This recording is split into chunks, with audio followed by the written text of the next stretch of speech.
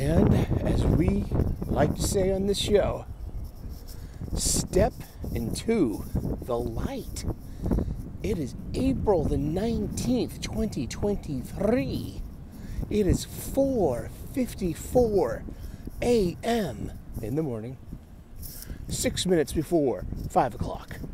It is 45 degrees Fahrenheit. And I am full of gratitude. It's a beautiful morning. It's clear, it's cold. It's full of birdsong. And it's full of us, right? Just hanging out for a few minutes. First thing in the morning. I start off my gratitude list with the Foundation 7. We've graduated from 6. Yes. I make this gratitude list as a pay it forward because it's been the most helpful tool in my emotional toolbox to help me cope in this wild and wacky world. When my day's going sideways, I can refer to my old gratitude lists and be reminded and literally count my blessings. And it has a transformative effect on my day.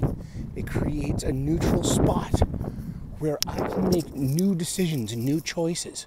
I can choose to continue to be moody and let my mood run me, or I can stand up to myself and run my mood.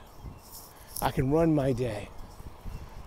It's a gift. It really is. So I, I, I have this gratitude list, and it's a model for perhaps, you know, if you need this kind of help too, then you do it. I suffer from the chronic mopies, the chronic angries, and the chronic lonelies, and I have all my life. So this really helps for me, and uh, do it whatever form helps you. I've adapted the gratitude list to be the most successful and helpful for this individual here. You know, and it's a state of grace to be, you know, to, to realize how blessed we really are really is. So, uh, my gratitude list I start off with my family, my friends, my faith, my freedom, my health, my union job, and making the effort to get proper sleep, proper rest. So, last night I was uh, hanging out with some old friends, one of my oldest friends. Her name's Lisa. Hi, Lisa. And her husband, Justin, and uh, her two sons uh, who are now 21 and 17. I got to see them grow up a little bit here and there. They live in Colorado, and um, I've known Lisa for near 30 years now. And it was just so. We went to Pizzeria Regina in the North End, one of the Boston's best pizzerias. And we hung out for an hour and a half or so. We ate some pizza, caught up, had a good time. I have not seen them since before lockdown 2020. So the kids have grown. Yeah. And um, they're not kids anymore, they're young men. And God bless them. They're handsome, they're awesome, and uh, good job. Good job, Mom. and I, um, I usually do not do things after work. I just go home, have some supper, and chill out and try to get my body into a restful spot so I can go to sleep.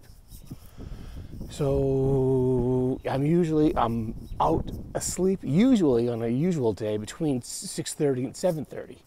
If I'm asleep by 7:30, I'm up at 3:30. That there's your 8 hours sleep. That's just math. Don't blame me. Ooh. As always, and as always, bus, bus, bus. Bus, bus, bus. We have summoned the bus. Let's see if it works. Let's see if this bus call works. But we hung out, and uh, I got home probably about, it was close to six o'clock. Hello. Bus, bus, bus, bus, bus, bus. May you get to your destination safely and without incident. There we go. So yeah, um, which is kind of like my bedtime ish. And so when you get home, you need a shower and you need to unwind. and I'm like lying in bed. It's almost nine o'clock, and I'm like, it's getting close to 9:30, and it's like, oh my gosh, it's like two hours of sleep I've missed. I'm all, I'm gonna get a bad night's. I think I fell asleep by 9:30 or so, and I slept solid, pretty much. Oh, burps. And uh, I'm just a little tired today. It's fine. You know, human up and go through it. Had a strong cup of coffee. But, you know, it's, it's a sacrifice. I, you know, I really wanted to see my friends. I'm so exhausted, stinky, and tired after work. But put in the effort and see your old friends and have a good time. And I had like two glasses of beer, which is like my limit on a uh, on a work night. And um, it was just nice. And it's hard not to feel just a little knackered, even having a little bit of beer, getting old. Yeah, but I'm blessed and grateful for these old friends and their kids and to be part of it and to be welcome and to have like a family supper, to have supper together. I eat alone a lot. Most of the time, yeah, I'm alone. and having company, such charming company, and such old, great old friends that we've been friends for almost 30 years, and that's truly, truly blessings, and and and and that's I'm grateful for that. Thank you so very much for tuning in. God bless. Namaste. Good luck. Like and subscribe. I would love to earn your subscription. We make daily content here. Join us. All right. You have a great day. Cheers. Bye bye.